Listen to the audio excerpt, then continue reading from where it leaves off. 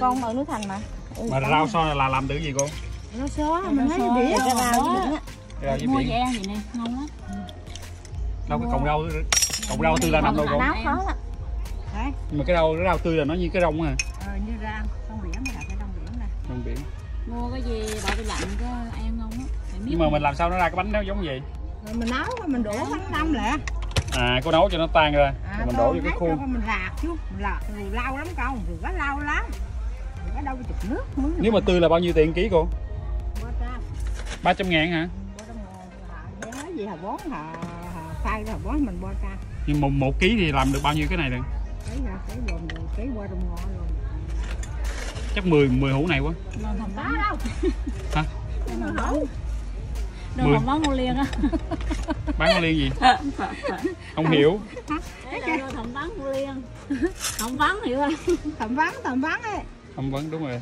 Đúng rồi. Không vấn cô liên. Cô có một có ký làm được không? bao nhiêu hũ này cô liên?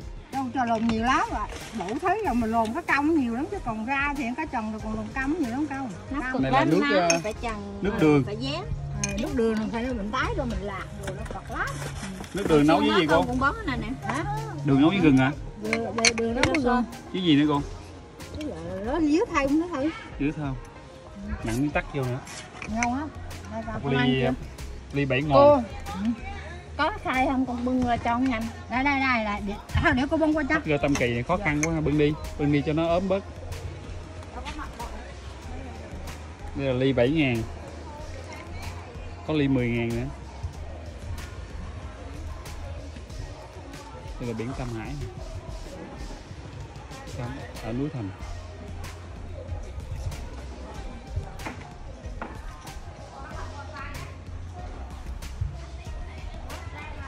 hết chưa cô? Hết chưa? Đủ rồi. Đủ hả? Ờ, con ăn cái ra đi hay không? Con con người chuyện đó con ăn cái ra người chuyện cô quay mặt con tí đi. Đấy. cô cầm đi cô quay con đi. Cầm cô cầm khang cái thôi rồi cảm ơn cô. Cô liên. Bye bye cô liên